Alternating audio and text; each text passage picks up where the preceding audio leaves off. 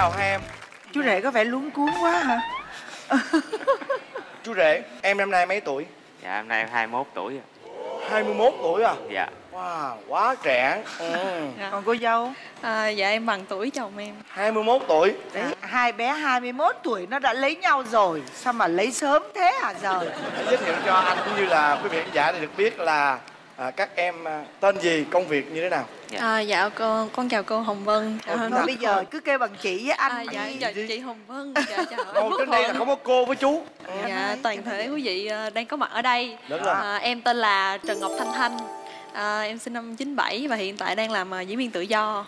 Rồi giờ chồng cũng làm diễn viên luôn nè. Dạ. Nói đi. Dạ không hả? chào chị Hồng chắc Vân và chú tác giả. Phú Thuận à, khán giả. Dạ em tên là Đặng Văn Khánh. Năm nay em 21 tuổi Em đang còn đi học Và phụ giúp công việc gia đình. Rồi tình cảm của các em bắt đầu như thế nào? À, hai đứa em học chung với nhau ở lớp đại học. Thì ờ, trong lớp em rất là quậy. Còn chồng em thì giống như là những cái người mà, mà gà rù đi học bị ép đi học vô vô lớp nào cũng cúi mặt xuống ngủ giống thất tình lâu năm vậy đó. Ừ. đó, nhưng mà hai đứa thì không để ý gì tới nhau hai đứa cũng có quen bồ là một năm rưỡi. Đó thì ờ, sau khi giờ chia tay á, thì ờ, em có ờ, bị bệnh nằm ở trong bệnh viện thì lúc này chồng tự nhiên nhắn tin hỏi là ủa mày đang trong bệnh viện hả? Bị bệnh gì vậy? Có cần tao lên thăm không? Ừ. Xong rồi em mới trả lời ủa ủa tao đâu tao đâu có thân với mày đâu tiện mày lên rồi tao thăm tao. Ờ. Ủa tao đâu thân mày đâu. Đó. Ờ. Xong rồi cái hả chồng em mới kêu là không để tao lên thăm mày mày muốn ăn gì tao mua cho mày. Ờ. Đó xong rồi cái em mới kêu ừ rồi vậy thôi cũng được. Xong rồi em mới kêu là "Ê, ông tao muốn uống trà sữa với lại ăn chuối. Trời, thì em nghĩ là chắc mua sữa? một hai trái chuối vậy thôi mà không ngờ mua một nải chuối xanh. Trời ơi. Xong để lên giường bệnh của em tưởng đâu chù em chết vậy đó. Trời ơi. Sau đó là khi mà em xuất viện là bắt đầu chồng em theo đuổi em hoài luôn có phải là em đã để ý cô thanh thanh này từ lâu rồi đúng không? Dạ đúng rồi ạ. Đầu năm ờ, sinh viên năm 1 á là vô hè là em ngồi đang ngồi trong lớp. Cái em thấy một bạn nữ bước vô mà nổi nhất luôn. Cái xì tay rất là đẹp. Cái em để ý lúc đó. Mà lúc đó em nghĩ là em không giới tới nổi đâu. Lúc đó là vợ em là diễn viên nhưng mà là có nổi tiếng không? Dạ và em thì cũng có nhiều người biết rồi à, hot face hả? Dạ hot Dạ, face trên Facebook thôi. Dạ. sau khi mà về về nhà rồi á thì ờ, ngày nào cũng từ quận 7 chạy qua quận Bình Thạnh mua cháo này nọ cho em qua nhà là dọn dẹp nhà cửa nhà này em này kia rồi xong rồi hả mua đồ ăn cho mẹ em. Nói chung là tạo ấn tượng rất là tốt. Nói chuyện nhau mới được 4 ngày chưa có tỏ tình chưa gì hết mà chồng ra đi xong nguyên chữ tờ bự chà bá ở ngay đây rồi xong rồi đưa cho em coi nó mày bị gì á thằng này tâm thần á ta sao mới nói chuyện có 4 ngày tự nhiên xong tên nó bị gì vậy? Xong rồi hả? Chưa hết nói chuyện thêm 3 ngày nữa xong nguyên chữ thanh trần. Xong ở đây thêm một cái nữa xong ở tay thêm một cái nữa phía sau thêm một cái nữa. Ha. Tính ra tới giờ là tới 5 cái trên người luôn. Vậy thì mỗi lần à, cua em thì sao? Em đây nè em anh yêu em nè. Đó, vậy hay là sao? Không biết sao cái cách thể hiện nó kỳ cục lắm xong Không, anh nó- anh anh anh không hiểu luôn là cái cách thể hiện để mà à bày tỏ cái tình cảm của của mình là với với cô thanh trần này mỗi lần như vậy thì là giặt ra cho coi sao. Dạ không em tại vì em yêu quá là em cứ hết những cái kỷ niệm á là em cứ cho lên người tức là mỗi một cái chữ hình xăm đó nó tương ứng với một cái kỷ niệm nào Dạ, đó đúng dạ. không? Rồi xong Đúng rồi không? tới ngày quen là xong ngày quen nhau rồi cung của hai đứa là gì xăm lên. Đó xong rồi họ tên của em là bự chà bá sau lưng luôn.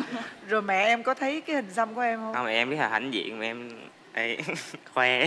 Đi khoe với mọi người nè con tôi xăm tên vợ nó nè. Ồ vậy đó hả? Dễ thương quá hả ơi. xong rồi à, một thời gian sau khoảng à, cỡ 4 tháng là bắt đầu dẫn em về ra mắt ờ, ba mẹ bên đó.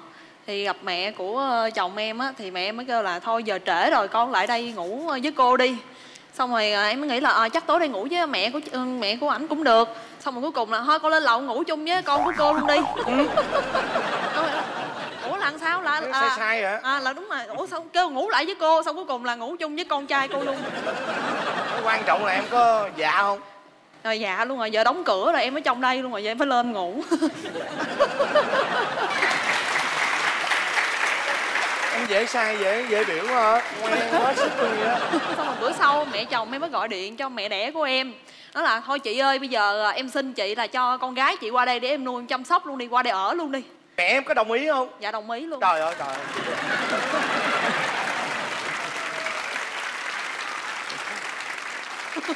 Sao từ em mà cho tới phụ huynh em cũng đều rất là dễ vậy? Dễ dãi quá. Bây giờ phải hỏi nè lý do gì mà mà mẹ của em lại kêu bạn này ở lại? Tại vì à, trong thời gian mà em em ờ, bắt đầu cua thanh đó là gia đình thanh có biến cố gia đình hai ba mẹ hết tình cảm với nhau ly dị á.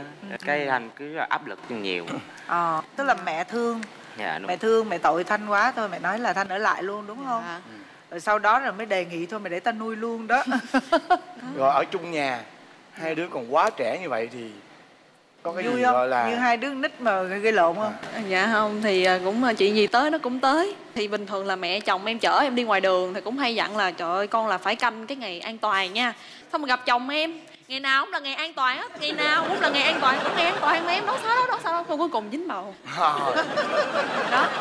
Mà hả, lúc mà em với chồng em là nhận ra là hình như là có bầu rồi xong rồi chồng em đâu có cho em đi đâu không cho mua que thử thai không cho đi đâu hết trơn. Xong rồi tự âm thầm xuống nói với mẹ chồng em là hả hình như thanh có bầu rồi mẹ. Xong rồi một buổi sáng thức dậy mẹ chồng em cầm cái que thử thai lên con thử trước mặt mẹ đi.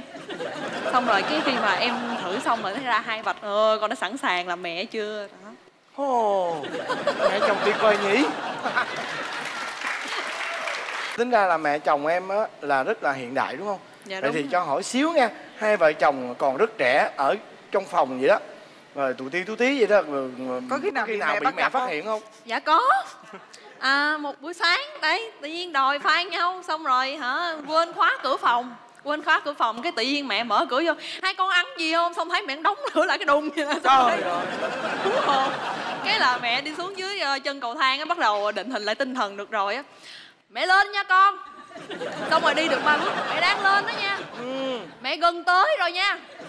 Mẹ đang đứng trước cửa phòng nha. Mẹ vô á. Xong mở cửa ra hai đứa ăn chuối không? Dễ thương quá hai đứa mà lúc mà về ở chung thì chuyện gì tới sẽ tới đúng không? Dạ. có nghĩa là đó là cái đêm tân hôn chứ không phải là cái đêm tân hôn là cái hôm mà sau khi cưới đúng không?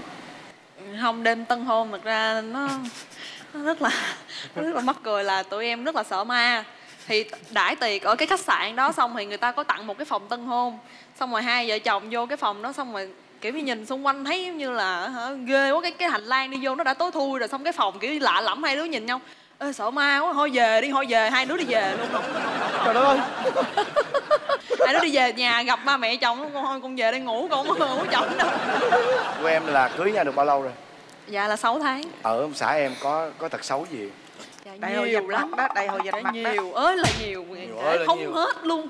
Đầu tiên là tính là quá là nhây giống như là nhây những cái chuyện như là em- đang bực bội khó chịu xong rồi vợ ơi vợ ơi vợ ơi nha vậy đó. Xong rồi cái em mới kêu em đã khó chịu ra đi. Xong rồi cứ nhây hoài nhây hoài. Tính em cả cọc rồi em điên em đánh đánh chồng em. Đó xong rồi đánh hoài à. Ngày nào ngày nào có chuyện nó đánh hết trơn rồi xong rồi có lúc mà đánh dữ quá em đánh ờ, bầm mắt luôn. Trời ơi! Xong rồi xong rồi cái chồng em cầm lộn điện thoại của em nhắn vô trong ờ, cái tin nhắn cái nhóm đó có em với hai chị họ của em nữa nhắn À. lộn vô trong đó là chị ơi cứu em với nó quýnh em bầm mắt rồi. Xong rồi hai chị em tưởng đâu là chồng em quýnh em. Ờ xong chạy tức tốc qua nhà em cầm nó bảo hiểm rồi xong mà dám quýnh em tao? Trời ơi trời ơi. Ủa mà bộ hai đứa xài điện thoại chung với nhau hay sao? Cả hai điện thoại nhìn giống nhau nhìn Ờ. giống nhau cái cầm lộn xong nhắn vô trong đó rồi mấy chị em tới xong mới thấy là chồng em nằm ôm con mắt vậy nè. Đó. Ôi, tội nghiệp nhỏ quá.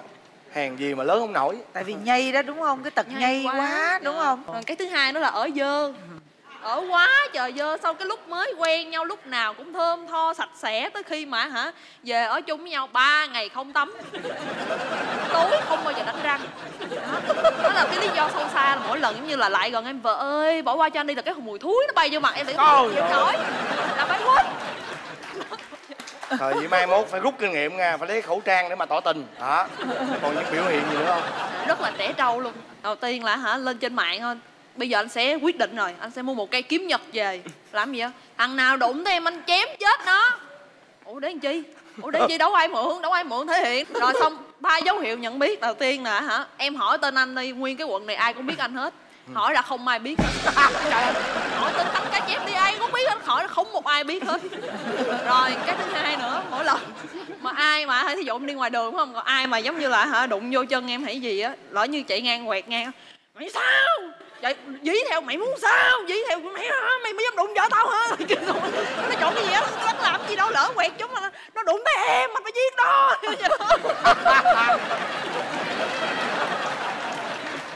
Xong rồi hả? Rồi thêm một cái nữa. Người ta đi ra ngoài đường ví dụ như là người ta nói tới ảnh ảnh im. Ảnh im xong về mới nói tại nãy anh im thôi anh mà lên tiếng là mệt. Đó đó đâu dám đụng ta đâu người ta nói im re à, À. lúc mà người ta nói im re tới khi về nhà mới bắt đầu thiệt. Anh mà lên tiếng là nó mệt với anh. Là sao? Lúc đó không lên tiếng thì về mới thể hiện. Em đi với chồng em ngoài đường em rất là sợ. Ví dụ như đi với một người mà cao to lực lưỡng mà hỏi chồng em chồng chồng em mà chửi người ta đi mình sẽ nghĩ là ờ giờ mày chết với tao mày chết với chồng tao rồi còn đi với chồng em. Chồng em mà lên tiếng nha người ta quay qua nhìn một cái thôi thôi chạy đi ba nó quýnh hai đứa bây giờ hơn. Đỡ sợ muốn chết luôn đáng yêu quá à. Thì bây giờ mới 21 tuổi thôi mà phải là trẻ trâu thôi chứ sao nuốt giai đoạn được đúng không? Dạ đó rồi có Dạ. có lén hút thuốc này kia nọ không? Trẻ trâu thường hay thể hiện dạ chứ. có có lén hút thuốc. Lúc đó là em đang mang bầu em nói là bây giờ vợ mang bầu rồi đừng có hút thuốc nữa nha. Anh hứa với em luôn anh thề anh không bao giờ anh đụng tới một điếu thuốc nào. Xong tối hôm đó dụ cho em ngủ trước. Thường là hả, anh bấm điện thoại anh chữa buồn ngủ xong rồi em ngủ trước. Lén xuống dưới nhà hút thuốc xong rồi đi lên trên phòng xui quá lén em mà xui quá đụng trúng cái bàn ngay cái đùng. Xong rồi em mở mắt ra dậy em nhìn. Xong rồi em vẫn ráng em hí lại. Xong rồi cái chồng em lại nhìn em ồ nó ngủ rồi. Xong rồi em nghe mùi thuốc. Trời ơi em tải một cái bóp mặt giận quá trời giận. Bỏ luôn chưa? Dạ bỏ à. ủa em nhưng mà lúc mà vợ em có bầu có thay đổi tính nết tâm tính gì không? Dạ vậy em thay đổi nhiều lắm mà chỉ là cần làm một cái gì đó sai nho nhỏ thôi là nghe chửi nghe đập rồi thường là những người phụ nữ khác là vợ giận là chồng quay bay bay lại ôm hung đủ thứ ấy, năn nỉ. Là người ta sẽ bớt giận. Còn vợ em duyên với em thì à, càng ôm càng quýnh Ừ. càng năn nỉ càng đập. Cứ à, thôi vợ ơi xin lỗi mà mày xin lỗi mày biến ở đâu trời ơi, đập kinh khủng luôn. Cứ ôm vô là đập cứ ôm vô sao là đập. tội nghiệp với cái thân lý phận chồng do em. sâu xa là gì? Thí dụ ôm rồi im im lặng đi ông nói vợ bỏ qua cho anh đi. Phà cái hơi rồi nữa đó. Tại vì á, tụi em đều là hai đứa trẻ đó.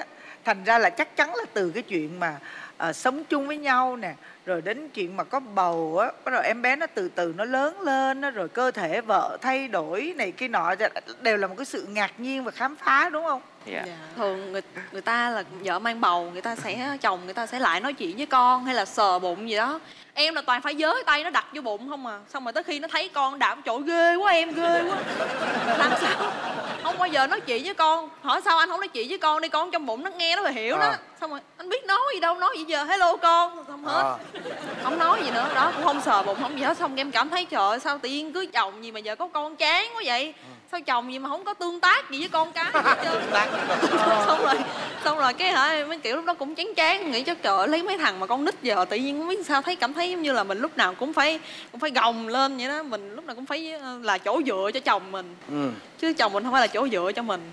Sao lúc mà mà vợ mang bầu á rồi có thay đổi từ cơ thể cho tới cái tâm tính vậy đó em ngạc nhiên không dạ. Thấy mắc cười không? Dạ không em có tìm hiểu nên là em thông cảm. Ừ. dạ nhưng mà phụ nữ có bầu nên là gay gắt lắm dữ Ừ. lắm. Rồi có bắt em phải ờ, ờ, nhịn ờ, Kêu nhịn đói nhịn khát không? Dạ có chứ. Vợ em là dữ ghê lắm năm trời là Dạ. bắt nhỏ nhịn đói nhịn khát luôn dạ, hả nhìn Dạ. tới nỗi mà giống như lâu lâu em có những cái cử chỉ mà thân mật dữ quá cái ảnh tưởng là cho ảnh làm hay gì đó. Em cho em cho thiệt hả? Nghĩ sao cho vậy cha Ê, thương quá thân phận làm chồng của em thật là đáng thương. Mà vui không? Lấy vợ vui không? Dạ vui. Bị đánh mà vui đúng không đánh đánh vẫn dạ vui. rồi. Đánh cảm thấy là vui. Trời ơi. Ủa con em năm nay à, bây bây giờ là bao nhiêu tháng? Một, Dạ, một tháng. tháng. một mới có tháng. một tháng thôi. Chà thêm là vẫn à, còn còn bắt nhịn đó. Dạ vẫn còn bắt nhịn dạ, đó. vẫn, Dạ. vẫn. tới giờ phút này luôn tại đó. vì em sinh mổ mà. Ồ. Thực ra là đâu có cần thiết phải bắt nhịn dữ vậy trời. Tuổi này còn nhỏ mà. dạ. Những cái tháng đầu tiên cho đến tháng thứ ba coi như là tạm thời nhịn. Nhưng mà đến từ tháng thứ ba trở đi á dạ. là bình thường. Ồ. bình Con- thường mà. Con một tháng như là cho hai đến tháng tháng, nữa thứ bảy tháng thứ còn hai tám tháng nữa. Gán đi khánh anh nghĩ em Không. sẽ làm được dạ. Nhưng mà phải nhịn là sau khi sanh thì bắt buộc cái đó là mình Dạ, phải ấy để mình kiên cử cho cái người phụ nữ. Nhưng mà Ừ. trong thời gian mà em mang bầu á Dạ. em không cần thiết phải bắt chồng nhịn là tại vì á khi mà hai vợ chồng vẫn có cái mối quan hệ á, là em bé rất là tốt luôn. Thiệt ừ. rất là tốt cho em bé luôn. Dạ. nói vậy để đứa sau đừng bắt nó nhịn nó tội. Em nói thật lòng đi trong cái thời gian qua là em bị vợ bạo hành như vậy đó thì à, thật sự là em có cảm thấy bị tổn thương không? Hay là em em rất là hạnh phúc dạ em thấy vui. À, thấy vui. Tại vì ngày nào không quýnh là em thấy buồn lắm em thấy uh, Trời. nhạt quá. Ngày hôm nay nhạt quá em phải làm cái gì đó để chọc vợ em cho vợ em quýnh. Trời ơi. Rồi bây giờ tới em đó. Face này có thật xấu không? Dạ vợ em thì ít lắm mà. Em ờ, chỉ có là hung dữ thôi tính đàn ông thôi. Còn mọi cái thì ờ, cứ thiếu cái gì là mua sắm rồi ờ, đầy đủ cho con cái rồi chồng rồi đủ thứ hết á. Chỉ có là tính tình là bộc trực và hay giống như là hay, hay có hay nổi nóng không? Dạ có vợ em nóng lắm. Vậy em có mong muốn vợ em thay đổi điều gì không? Dạ, em muốn muốn vợ em lâu lâu dịu dàng nữa. Lâu lâu dịu dàng với em phải không? Dạ. Cái, cái thời gian dịu dàng vợ em đối với em á chỉ tính bằng giây thôi. Trời thấy thương không? Tội nghiệp bé. Ờ, Thường á thì à, cái tuổi này đúng là cái tuổi mà ăn chưa no lo chưa đúng tới. Dạ. Thành ra là ờ, lấy nhau á thì chắc chắn là chưa có thể nào mà như những cặp vợ chồng người ta trưởng thành được. Điều đó là chắc chắn. Nhưng mà rất may mắn á là tụi em có ờ, ông bà nội rồi á, bên Ngoại, ngoại, nữa. bà ngoại bên ngoại bà lắm. ngoại nữa. Thì nó có cũng có những cái điều nó hạn chế nhưng cũng có những cái điều lại là thuận lợi. Tranh thủ cái lúc mà ông bà vẫn còn sức khỏe để mà lo dùm cho con mình á. Dạ. thì hai đứa tạo dựng sự nghiệp nhất là em á. Dạ. Học đến nơi đến chốn Dạ. rồi á là phải có cái sự nghiệp dạ đúng người rồi. đàn Ừ. ông mình phải cố gắng mình chững chạc dạ mình phải là trụ cột chắc chắn bây giờ thì chưa thể nào làm được ngay đâu nhưng mà dạ cái hướng tới là phải như vậy phải hoạch định như vậy dạ Dạ. Dạ. cảm ơn. rồi ừ. chúc tụi em hạnh phúc nha dạ cảm ơn Cảm ơn.